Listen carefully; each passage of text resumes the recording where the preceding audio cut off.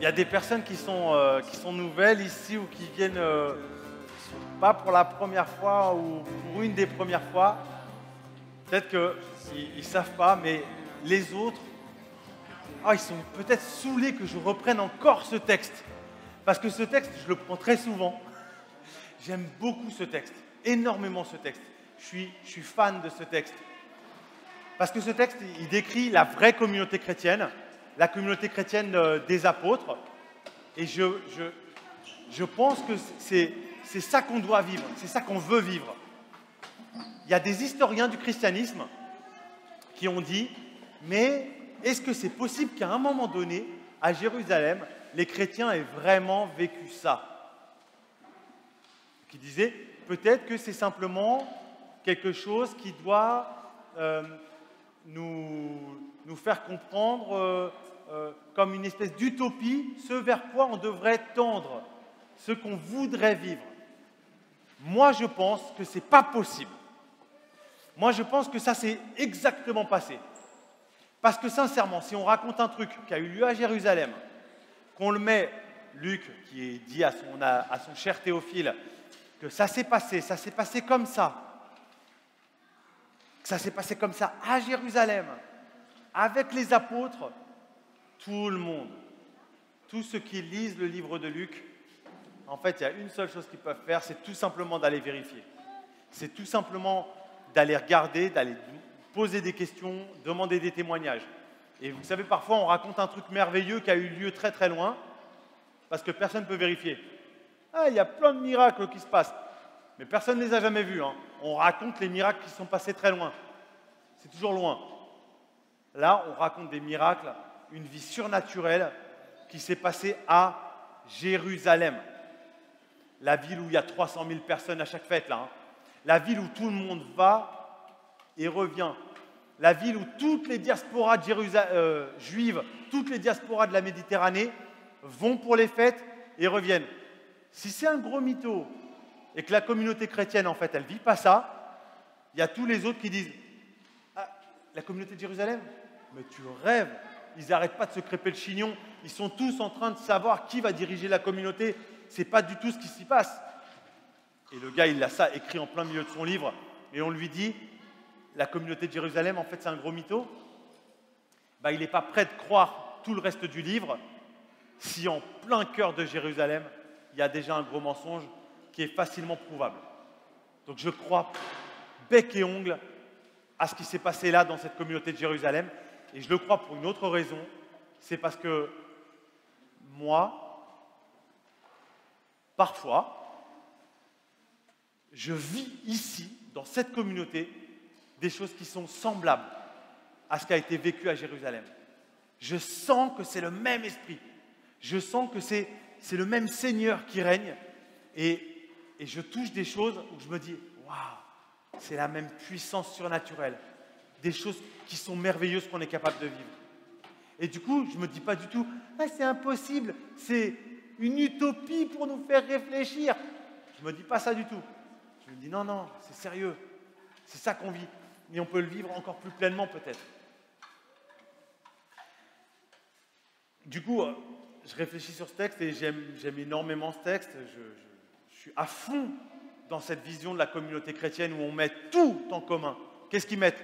Mettent tout en commun. Ils vendent leurs propriétés, ils mettent tout. Ça veut dire qu'ils mettent toute leur thune en commun, leur patrimoine. Ils mettent leur, ils mettent leur temps en commun puisqu'ils sont tous les jours, ils rompent le pain dans les maisons, ils se mettent ensemble, ils partagent. Ils mettent leur, leur vie en commun. Ça, on ne s'en rend pas forcément compte d'un point de vue social. Qu'est-ce que ça veut dire? Ça veut dire que dans une ville où tout le monde est hostile à l'esprit du Christ, on est hostile au christianisme, on est hostile à cette secte-là, eh ben, les chrétiens décident de s'afficher, ils s'affichent comme étant partie de cette communauté, avec toutes les répercussions sociales, professionnelles qu'il peut y avoir. C'est-à-dire que quand on dit ils mettent tout, ils donnent tout, ils donnent aussi euh, quelque part leur image sociale. Vous voyez, euh, pensez à Facebook, pensez à tous les réseaux sociaux, Parfois, on dit bah, j'ai pas trop envie de m'afficher, d'être euh, ensuite catégorisé comme quelqu'un qui a telle et telle et telle conviction.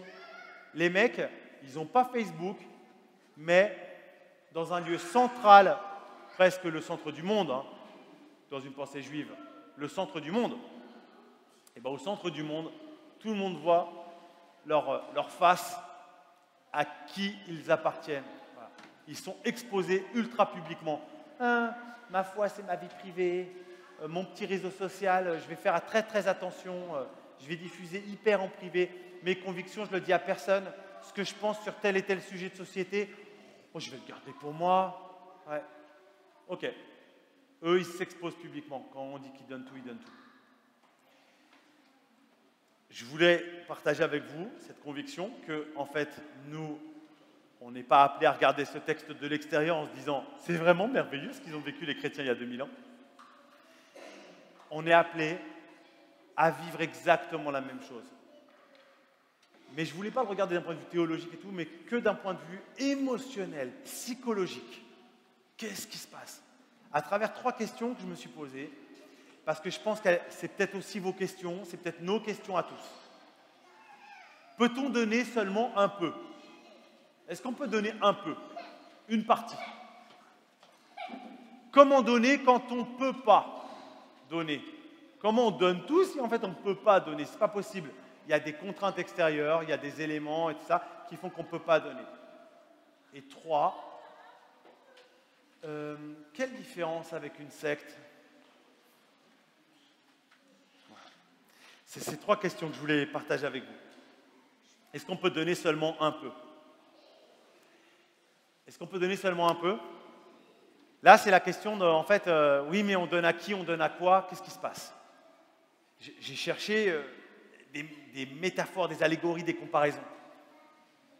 Un ami proche, dans des circonstances euh, uniques, invraisemblables, à un moment donné, t'a donné sa vie, il t'a sauvé la vie, au péril de la sienne. Il t'a donné quelque chose, il a mis sa vie très gravement en danger. Euh, il t'a donné une partie de lui, je sais pas, imagine, euh, le pire qu'on puisse imaginer, euh, pour te sauver ta vie, il a donné deux bras, deux jambes, il est handicapé à vie, etc. Et il t'a sauvé la vie. Sans doute que dans toute ta vie, tu ne te retrouveras pas dans des circonstances où toi tu pourras lui rendre la même chose. C'est arrivé une fois, c'est les hasards de la vie, c'est la vie, c'est comme ça. Jamais de ta vie, tu pourras lui rendre ce qu'il t'a donné. Tu n'auras pas l'occasion de lui filer deux bras, deux jambes, un poumon et un rein. Mais en fait, tu sens que quand même tu as envie de lui, offrir quelque chose. Tu as, envie, tu es lié à lui. Est-ce que tu peux simplement donner, à un moment donné, une boîte de chocolat en remerciement? Un petit bouquet de fleurs tu peux pas. Tu sens que tu ne pourras jamais donner un peu à ce gars-là. Tu ne pourras jamais lui donner un peu, une partie. Même si tu ne lui donnes pas tes bras, tes jambes et un poumon, tu sens que tu lui dois quelque part tout. Bah, avec Dieu, c'est la même chose. Sauf que c'est pire. Désolé d'être sordide, glauque, mais Dieu n'a pas donné simplement les bras et les jambes de Jésus-Christ. Ah, ah, je peux rendre un bras et une jambe si tu veux. Dieu n'a pas donné ça. Dieu a donné tout. Un truc que tu ne pourras jamais lui rendre. Il a donné la vie même de son fils. Il n'a pas donné un seul poumon, mais les deux. Le cœur s'est arrêté. Jésus-Christ est mort. Et ça, c'était le don du Père. Et en fait, à Dieu, à Dieu, on ne pourra jamais lui donner un peu. Il méritera jamais qu'on lui file une boîte de chocolat pour être quitte. C'est pas possible. C'est pas la relation avec Dieu. Dieu nous a tout donné et en fait, on ne le remboursera jamais. Hein. Vous inquiétez pas, on le remboursera jamais. Nous sommes éternellement débiteurs de Dieu. Mais quelque part dans notre vie, il y a une attitude de cœur. C'est ça le plus important, une attitude de cœur qui fait que nous lui devons tout et nous voulons tout lui donner. Et jamais nous ne pourrons dire juste une partie, Seigneur. Ça, c'est la première métaphore que j'avais en tête. La deuxième à laquelle j'ai pensé, c'est par rapport à des questions d'enfants aussi. qu'est-ce qui se passe dans la relation amoureuse de l'homme et de la femme? L'homme et la femme, quand il, hein, la relation amoureuse, c'est quoi? C'est qu'à un moment donné, on est prêt à, à donner son cœur. Donner son cœur, et c'est ça qui est merveilleux dans, le mariage qui se passe bien. Et c'est ça que les frères et sœurs dans cette assemblée qui ont vécu des mariages qui se sont mal passés ont vécu comme la plus grande douleur, non seulement la douleur d'un mariage qui s'est mal passé, mais la douleur qu'en fait, on soit passé à côté de, ce grand bonheur. On les touché du doigt et ils se soient échappés parce que l'un ou l'autre, ou les deux, en fait, ont piétiné l'immensité de cette grâce mariage. De quoi il s'agit? Le fait qu'à un moment donné, le mariage de l'homme et de la femme, de, ce don d'amour, je ne parle pas du contrat formel euh, en mairie, hein, je parle de ce don d'amour euh, incroyable. Ce don d'amour devant Dieu, et eh bien en fait, il y a un moment donné, en fait, dans le mariage, on le sent bien.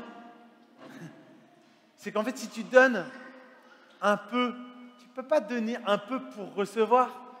Tu ne peux pas donner un peu selon le pas que fait l'autre dans le couple. Je vais voir comment il se comporte. Et s'il se comporte, je vais donner un peu d'amour. Et un peu plus, s'il se comporte encore plein d'amour, Selon l'amour qu'il me rend, je vais donner un peu plus d'amour. Ça ne marche pas comme ça. Ce n'est pas comptable, ce n'est pas contractuel. Il y a un moment donné, tu donnes avec la possibilité, en fait, une possibilité euh, qui est vraiment là, de te faire euh, piétiner, de te faire voler ton amour que tu donnes. Il faut accepter ce risque. L'amour, c'est un saut dans le vide. C'est tu dis, ouais, je suis capable de vivre avec cette personne, de, d'avoir des enfants avec cette personne, de, mettre en commun avec cette personne, j'accepte le risque qu'en fait, peut-être euh, peut-être c'est fou, peut-être je vais tout me faire prendre, mais j'accepte ce risque. Il y a parfois des étudiants ou des, étudiants, des jeunes adultes qui se disent Non, mais attends, c'est dingue de se marier, enfin, de s'engager avec quelqu'un, c'est fou. Euh, attends, euh, c'est quand même bien mieux de rester avec quelqu'un puis de se dire finalement, si jamais je rencontre une femme plus belle, bah tu vois, je suis pas trop engagé, quoi. si j'en trouve une plus belle, s'il y a moyen, quoi. Puis s'engager avec une personne, se dire, attends, euh, moi je serais très content de pouvoir euh, sortir avec une femme, euh, genre trois week-ends sur quatre, mais quand même de garder un week-end sur quatre où, bah, où je peux sortir avec une autre, où je peux sortir avec une autre, où, je peux sortir avec mes potes, etc. Mais s'engager pleinement, c'est quand même beaucoup de contraintes. C'est quand même beaucoup de contraintes. Tout donner à une seule personne, c'est un peu bête si je pouvais garder deux, trois trucs pour moi et du coup avec d'autres. Mais ce que ne savent pas ces étudiants ou ces jeunes, c'est en fait que tant que tu n'as pas tout donné à une seule, tu n'as pas encore connu le vrai amour. Oh, c'est mignon ce qu'il dit Julien. Parce qu'en fait, tant que tu n'as pas tout donné à une seule, tu ne sais pas encore ce que c'est que le fait de tout recevoir d'une seule personne qui aussi te donne tout et qui a renoncé à tous les autres. Elle a renoncé à tous les autres mecs. Elle a renoncé, euh, elle a, renoncé à, faire traîner ses chaussettes sur le radiateur de sa chambre. Elle, a, elle a, renoncé à, tous ces petits trucs à elle pour toi. Elle a renoncé à tous ces petits machins pour tout te donner. Et en fait, tous ces renoncements qu'elle t'offre, tu ne peux le savoir que quand toi, tu as aussi tout donné. C'est fou. C'est comme ça, je crois aussi, dans la vie de la communauté chrétienne. Franchement, en fait, quand on a tout donné dans une communauté chrétienne, il n'y a, que quand on a tout donné qu'on peut recevoir ce qu'une communauté chrétienne est capable de nous donner. Dans le texte, on dit les apôtres mettaient tout en commun et il ne manquait de rien. Parce qu'en fait, il y, a un processus dans lequel, quand chacun met dans la communauté, en fait, c'est l'abondance totale. Mais vous savez, dans la communauté, si le poissonnier, il dit, moi, attends, je vais attendre de voir si le boucher fait sa part, si le menuisier aussi, et puis euh, si les toubibs et les infirmières de la communauté font aussi leur part.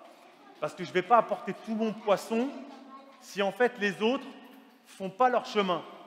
Mais si le poissonnier fait ça, le boucher aussi, il dit Ah bah attends, moi aussi, hein, parce que si j'ai pas le poisson, là l'autre il est en train d'attendre pour savoir s'il peut mettre son poisson, je vais me garder deux, trois steaks de côté. Vous comprenez ce que je veux dire? Et il y a un moment donné, en fait, on ne sait pas ce qui est possible de vivre. On ne sait pas. Mais il y a un miracle. Le miracle, c'est quand tout le monde apporte tout sans compter, sans arrière-pensée, sans calculer. Et là, la communauté, elle fait Ah, mais c'est juste, euh, c'est juste les prémices du paradis ici. Oui, mais parce que tout le monde a apporté tout en même temps, sans retenir.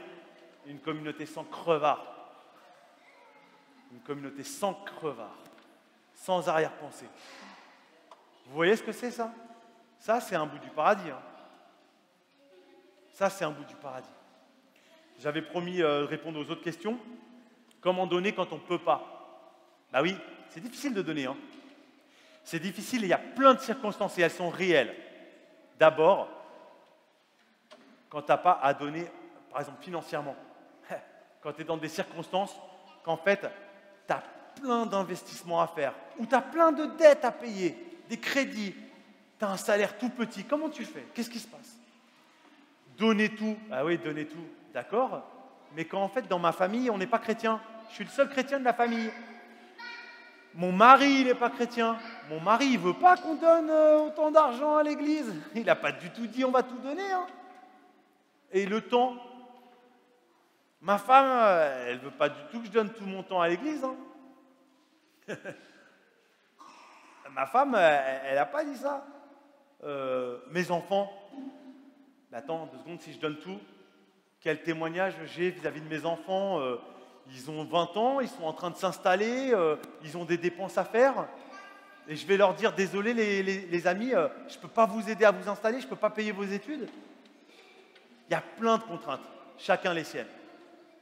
C'est vraiment à prendre au sérieux. Je voudrais vous raconter comment moi j'ai entendu parler pour les premières fois de la dîme.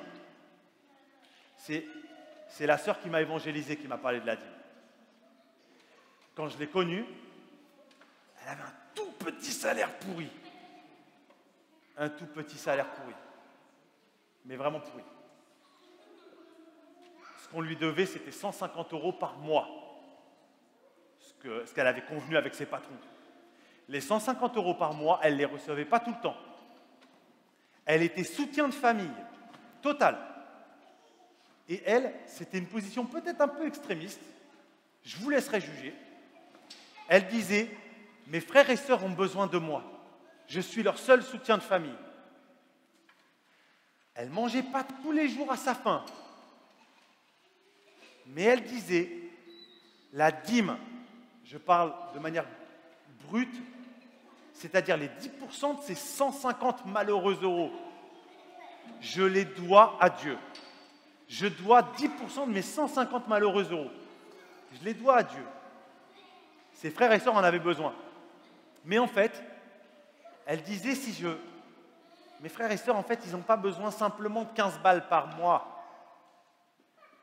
Donc de toute façon, j'aurai jamais suffisamment pour répondre à leurs besoins comment je pourrais me mettre en défaut de reconnaissance vis-à-vis de mon Dieu, alors que de toute façon, même le peu que j'ai ne, suffira pas pour mes frères et sœurs.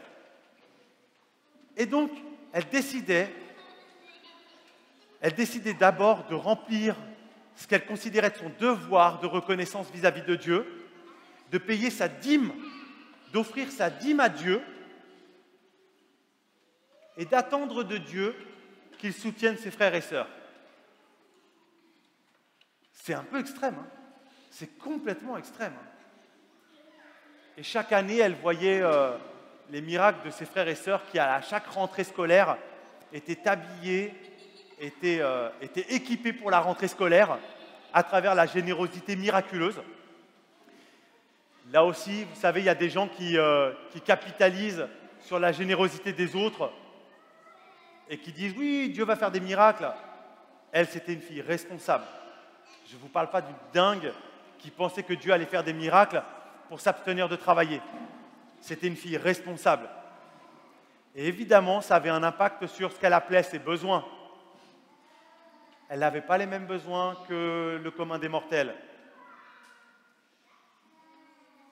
Un peu de riz dans son assiette, une fois par jour, ça suffisait. Ce n'était pas exactement les mêmes besoins que moi, par exemple, qui estime, moi et ma femme, que quand même, une soirée de temps en temps au restaurant, c'est un besoin. C'était pas la même chose. Je vous parle de cet exemple un peu extrême.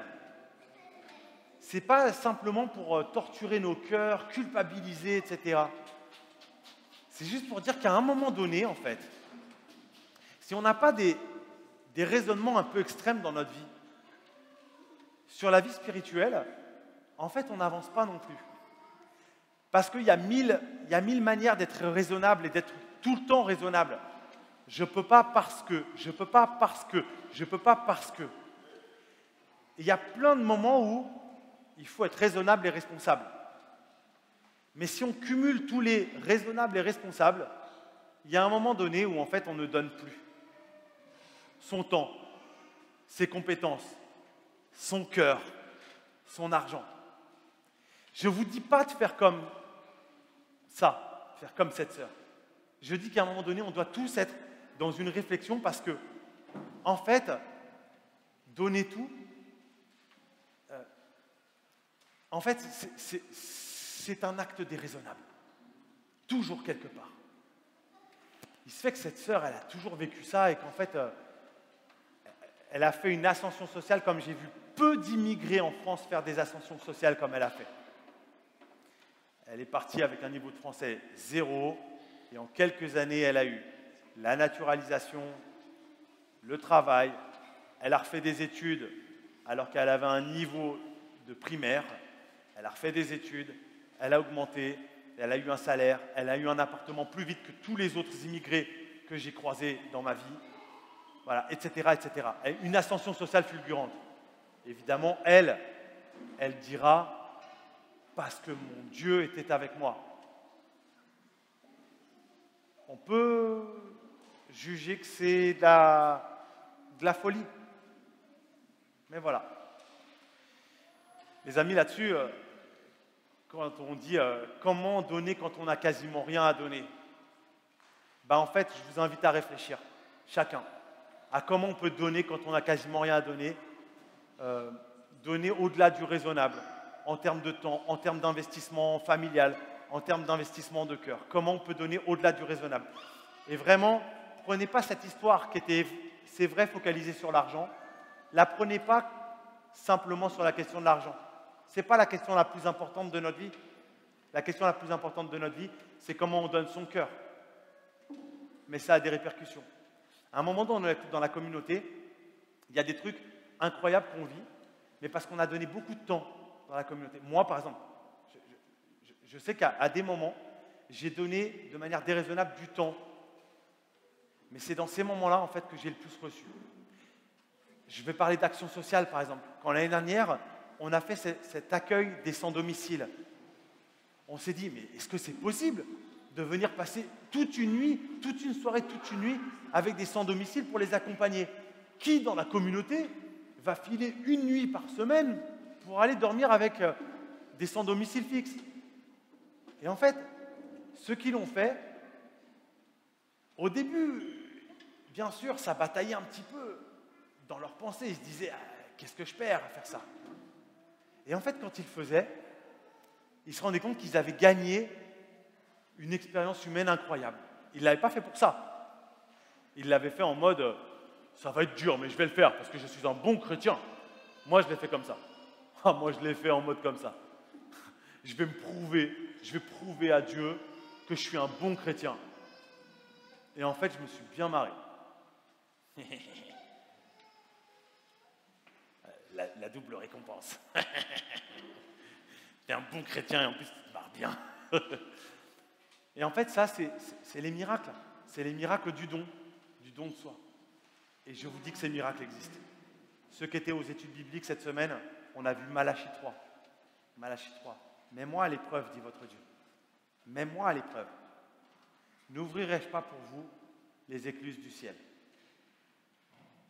N'ouvrirai-je pas pour vous les écluses du ciel? C'est un, verset tellement fort. J'avais promis une troisième question. Il faut que je retrouve ma troisième question. C'était, ah oui, la secte.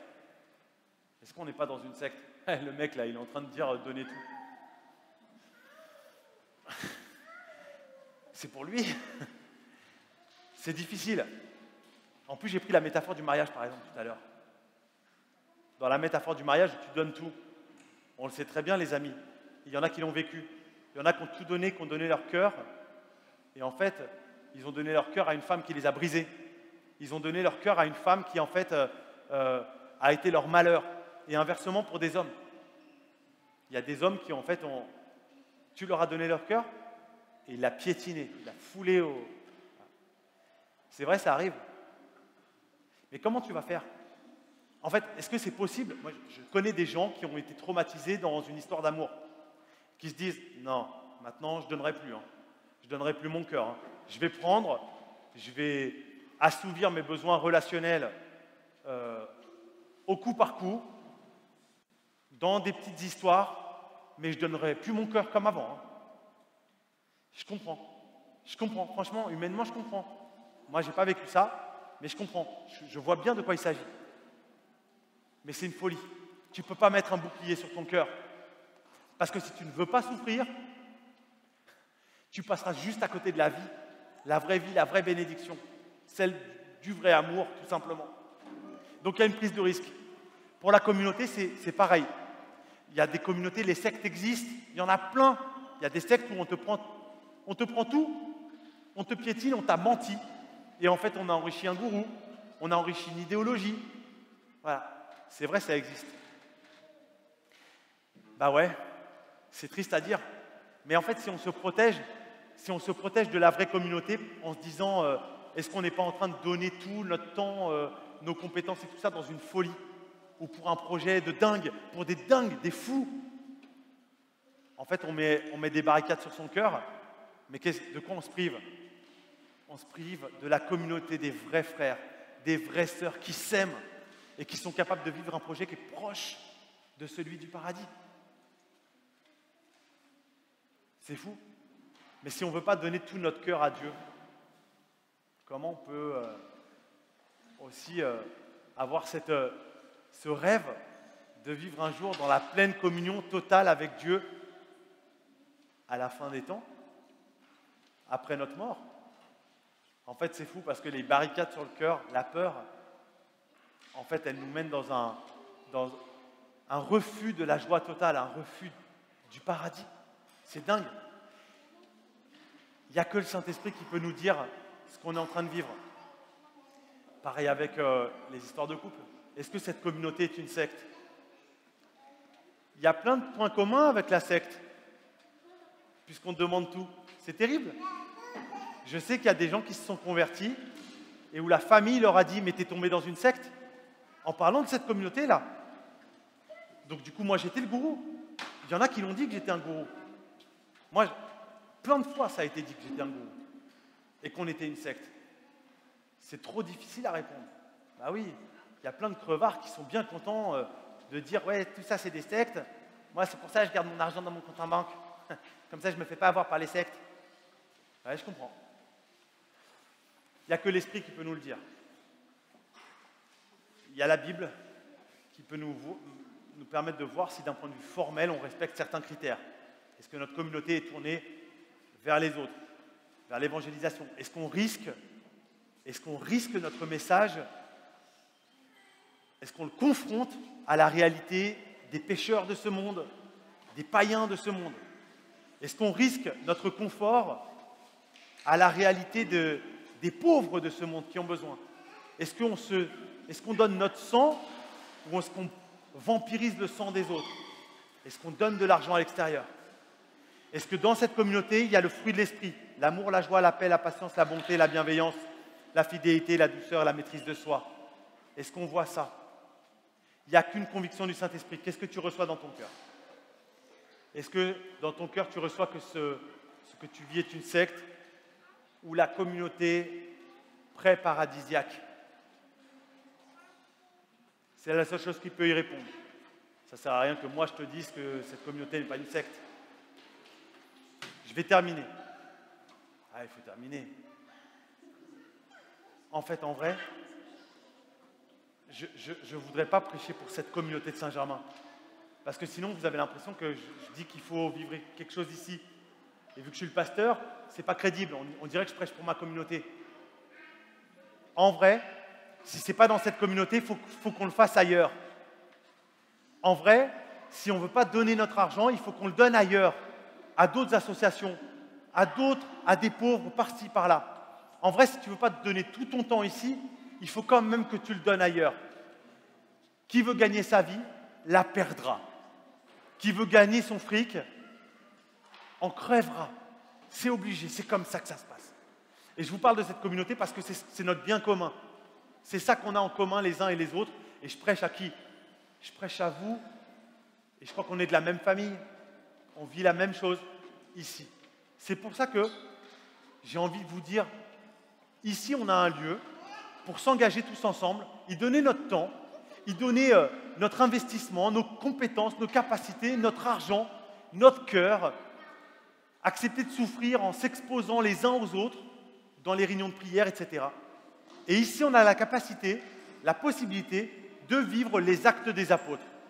Qu'on dise pas que c'est un mytho ce qu'ils ont vécu à Jérusalem, qu'on dise, regardez, à Saint-Germain, on l'a fait aussi.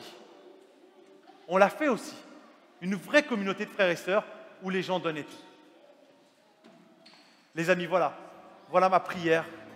Qu'on puisse recevoir de l'Esprit un endroit où on peut faire une communauté miraculeuse, surnaturelle, où on donne tout et où on reçoit tellement. Que le Seigneur nous inspire ce don de soi, ce don total, où on reçoit juste euh, les prémices du paradis. Au nom de Jésus-Christ. Amen.